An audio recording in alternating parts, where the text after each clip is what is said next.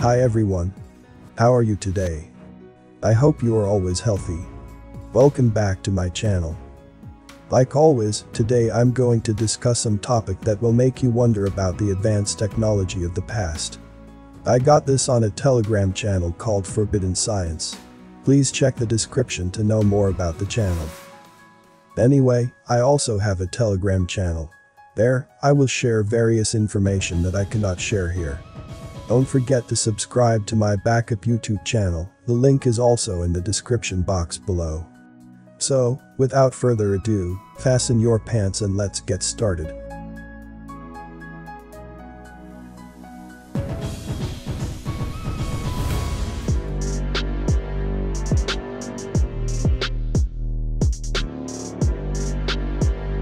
If you run the image of the sculpture of Ramses II through a computer, it turns out that it is perfectly symmetrical to within 1 millimeter.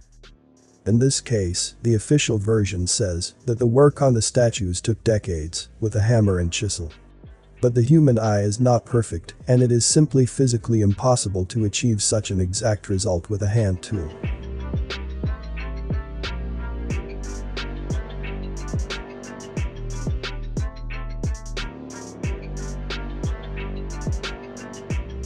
Modern people are very dependent on electricity, in spite of its cost and the negative impact of its generation on the environment.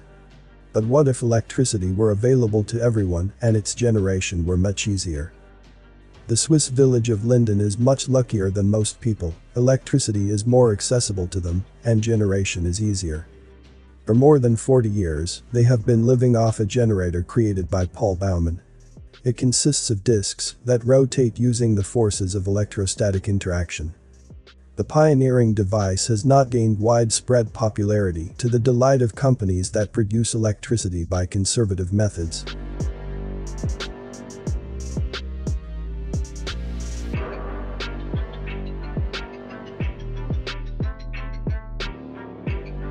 Most of Australia is enclosed by a rabbit-proof fence, which closes the way to the interior of the continent.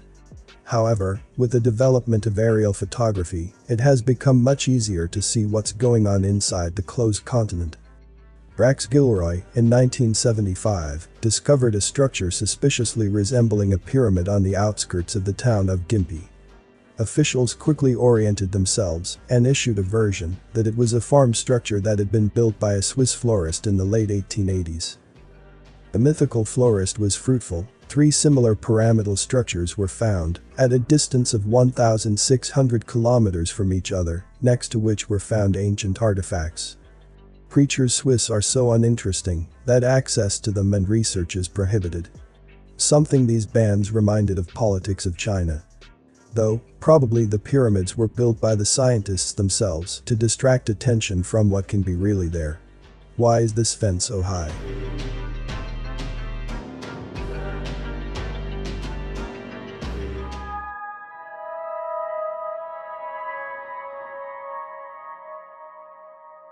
The stele of the pharaoh Cheops is rarely exhibited in museums, but often lies in the storerooms.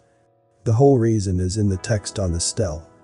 The Sphinx stood before Cheops, the Great Pyramids too, Cheops himself built only the Temple of Isis, which in size and technology is strongly inferior to both the pyramids and the Sphinx. Such is the degradation of technology, of which the hieroglyphs are carved in stone. Official historians do not recognize this translation of the inscriptions, but could not provide their own sensible version. As soon as independent Egyptologists and translators offer to help the officials with the translation, the stele disappears from the expositions at once.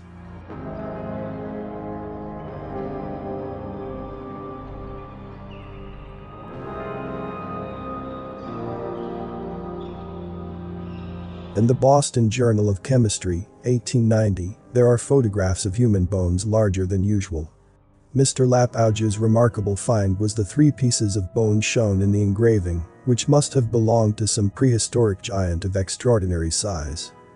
On the left is part of the thigh bone, and on the right is part of the tibia or tibia. In the middle is the humerus or upper arm bone from the same ancient cemetery, but of normal size. Judging the height of this Neolithic giant by the ratio of skeletal parts, he must have been about 3.5 meters tall. The bones of the giant were examined at the University of Montpellier, where it was recognized that they belonged to a member of a very high race. Before I continue the video, please give a like if you'd learned something. And, don't forget to subscribe, and also, click the notification bell too, so you won't miss any update. And, watch to the end, to avoid misunderstanding. Thank you.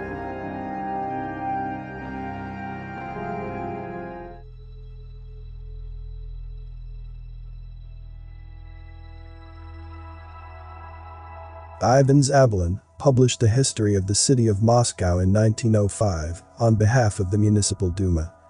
It contains engravings of different masters with views of the capital city, and one of them contains interesting sketches. The copy of the watercolor drawing by Quarenghi, original 18th century, shows underground ruins on the left. There are ruined arched vaults that have had time to overgrow bushes, and a large stoner section of engraved wall. The costumes of the armed couple at the stone are also intriguing. While those around them are dressed in camisoles and hats, these fellows are dressed in some sort of toga, helmets, and holding a shield. What kind of antique animators are these walking by the ruins?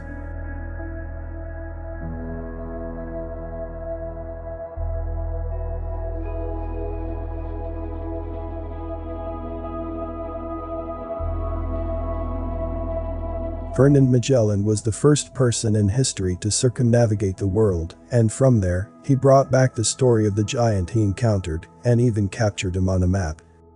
The giant was at least 4 meters tall, and a grown man could walk between his legs. That's why the Spaniards called the natives giants, Patagones in Spanish, respectively, and the natives were called Patagoons, and the land itself has been called Patagonia ever since.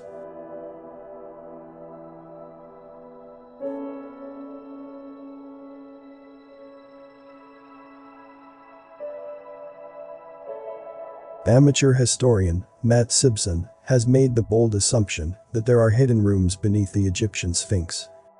He believes that directly beneath the sculpture are several secret rooms that are connected to the pyramids. Sibson stated that the Sphinx may be connected to the pyramids by an extensive network of rooms and tunnels. He suggested that the lost door might be a way to get inside the pyramids.